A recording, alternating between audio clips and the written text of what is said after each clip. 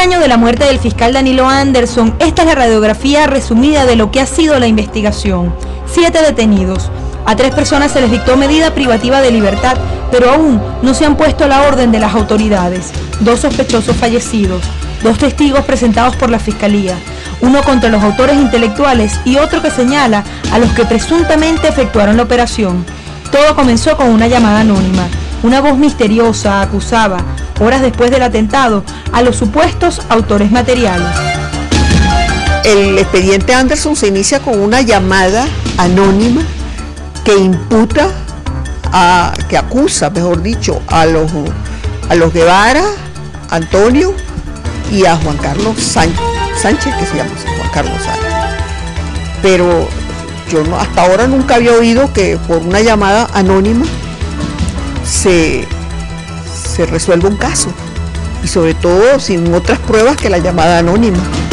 En esas llamadas lo que más resalta es que no sabemos de qué número se hizo, que es deber en todo caso del funcionario haber preguntado quién la hizo, de dónde se está haciendo, qué persona, porque eso, eso refrendaría en todo caso esa acta policial, cosa que no tenemos. Entonces tenemos que contentarnos sencillamente con un acta policial mal hecha por parte del funcionario Revilla, donde él involucra de esta manera a los debates.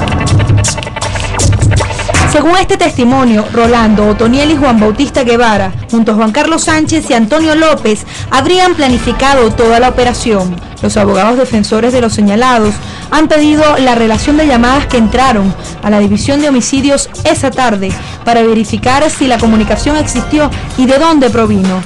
Sin embargo, esta experticia no se realizó y un año más tarde esta llamada continúa siendo anónima. Durante el proceso judicial se han denunciado varias irregularidades. La familia Guevara habló de detenciones irregulares y de torturas. Dos sospechosos murieron en supuestos enfrentamientos con la policía y en situaciones aún no claras. La defensa ha solicitado entrevistas a algunos testigos y no han tenido respuesta positiva. Además, denuncian que no han llegado al tribunal que lleva el caso todas las actas de entrevistas, experticias y averiguaciones no están en el expediente. En cuanto a los últimos anuncios sobre los supuestos autores intelectuales, los abogados aseguran que no se realizó el acto de imputación, fueron detenidos sin derecho a la defensa y no declararon antes de ser señalados. No han tenido acceso a las actas procesales, a conocer qué tienen en su contra. Por último, critican la presentación del supuesto testigo clave de la Fiscalía, Giovanni Vázquez. La defensa asegura que se realizó la prueba anticipada en agosto y al tomar la entrevista del presunto paramilitar no estuvo la representación de los señalados, violándose, según los abogados, su derecho a rebatir la declaración del testigo. ¿Pero qué sucedió el 18 de noviembre de 2004? ¿Sabía usted que versiones señalan que los compañeros de estudio de Danilo Anderson pudieron recibir una llamada en el salón de clases del UPOL que lo dejó desconcertado minutos antes de morir. Al regreso, retrocederemos un año atrás para revisar en detalle el día del atentado.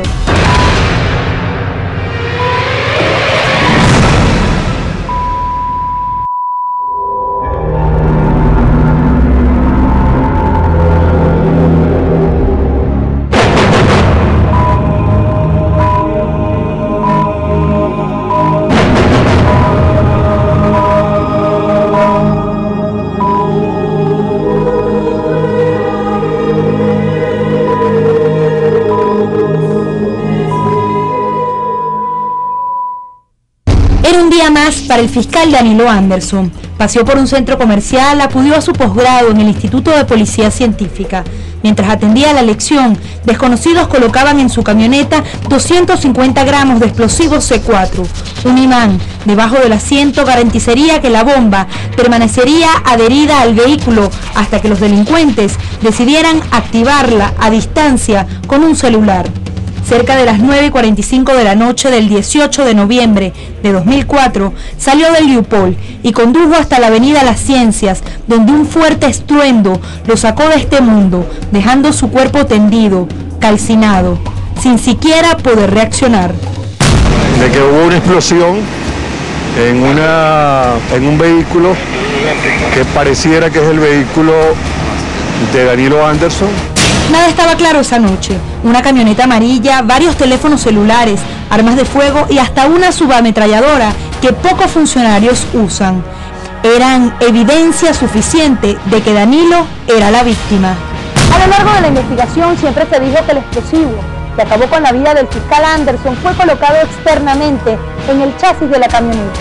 Casi un año después, el fiscal general dice que se instaló debajo del asiento de la víctima. Simple confusión o cambio en la versión de las autoridades. Y lo colocan debajo del asiento de Danilo. Danilo tenía la camioneta colocada en el polo. Y allí ellos que sabían, Juan Guevara, el que está preso como uno de los autores intelectuales, estudiaban en el polo. Y entonces allí logran colocar debajo, de la camioneta, debajo del asiento de Danilo el, el, el C4. Debajo del asiento y no debajo de la camioneta. Al día siguiente del atentado esta versión era distinta. Supuestamente se comprobó científicamente que el explosivo fue colocado por fuera. Lo otro que ya este, fue comprobado fue que fue colocada una, una carga explosiva al- con la parte exterior del- de la camioneta a la altura de, del asiento. Si acaso fue puesto dentro del vehículo, la historia podría cambiar. Pudo ser instalada con anterioridad y no necesariamente en el Instituto Universitario de Policía Científica y por alguien que abrió la camioneta del fiscal Anderson. Por cierto, su vehículo tenía un sistema de seguridad que avisaba a su celular cuando las puertas se abrían. Alguien de confianza tenía la llave. ¿En qué otro lugar pudo ser fijada el arma letal? Según los abogados defensores, en el expediente no existen pruebas contundentes sobre la composición de la bomba que se utilizó el pasado 18 de noviembre. Mencionan el C4, pero no existen experticias técnicas que precisen la cantidad, el tipo de explosivo y el mecanismo utilizado. Volviendo al día del atentado, una de las preguntas más recurrentes entre los ciudadanos sobre el día del asesinato es cómo en una hora los máximos representantes del Poder Ejecutivo y Judicial estaban en el lugar del suceso, el vicepresidente, el alcalde mayor y el del Libertador, el presidente del Canal 8, incluso representantes del Poder Electoral y diputados de la Asamblea Nacional, la directiva de la DICIP y la Policía Judicial en pleno. Si existían dudas sobre quién había fallecido, su simple presencia eran la prueba. Sin entender muy bien el cómo y contra quién, ya se hablaba de homicidio. Creo que es una respuesta desusual, violenta, terrorista, que todos debemos de alguna manera condenarla.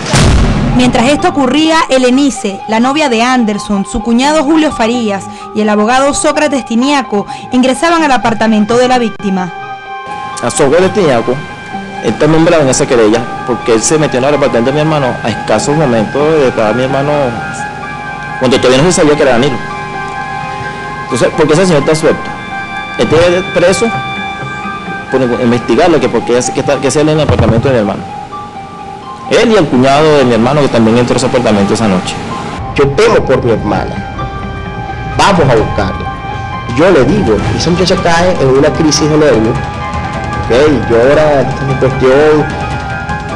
La sacaron, salí lo que de la sala, ellos sacaron lo que hacer, lo que no, pues, pues, lo que podían ellos llevarse porque, porque también entonces claro, en medio de todo eso, eh, ellos lo que estaban pensando es que bueno, y entonces nos van a venir a buscar a nosotros y qué puede pasar conmigo. Sin embargo, algunas declaraciones tomadas por los investigadores señalan que sacaron esa noche cerca de un millardo de bolívares en efectivo, una máquina de contar billetes, videos, entre otras cosas.